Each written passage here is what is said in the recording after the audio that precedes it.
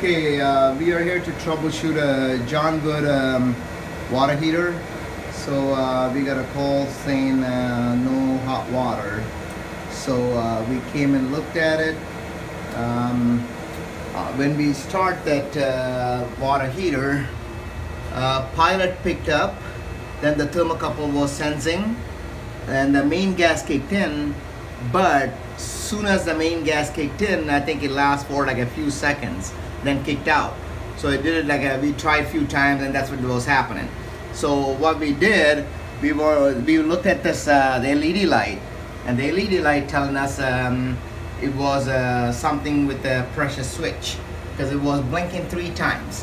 When this blinking three times, you look at that uh, the the quick uh, note here saying the uh, the pressure switch failed open. So now we gotta look troubleshoot for the pressure switch. So anyway, before we start anything, you gotta kill the power, which is unplug this cord. Then of course, uh, this is a gas line, you gotta turn them off. Then you are ready to do your troubleshooting. So now, uh, when you looking at the pressure switch, we have to open uh, this case here. So this case with the one screw here. So you take the cover off, then this is the pressure switch uh, we were talking about.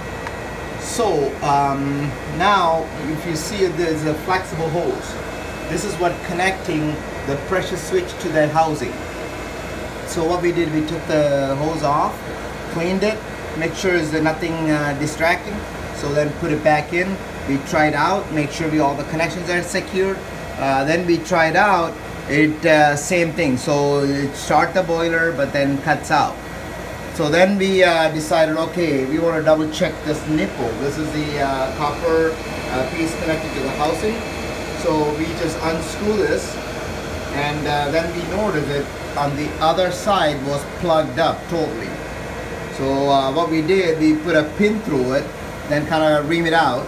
So once it's reamed out, uh, put the hose back in.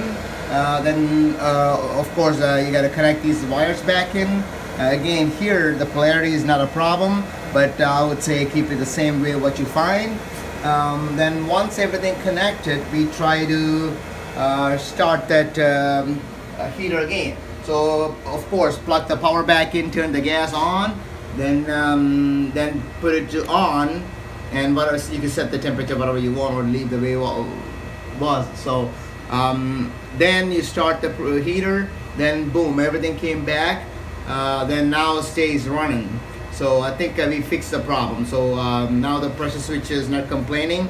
So um, anyway, uh, yeah. So now we're gonna put everything back in. Then uh, we should be good to go. But for a quick second, you should go look through the window. The flame is in good condition, and um, everything looking good now. So yeah, um, yeah, that's about it. So now this is a pressure switch um, uh, failed open problem. So we fixed it and all good to go.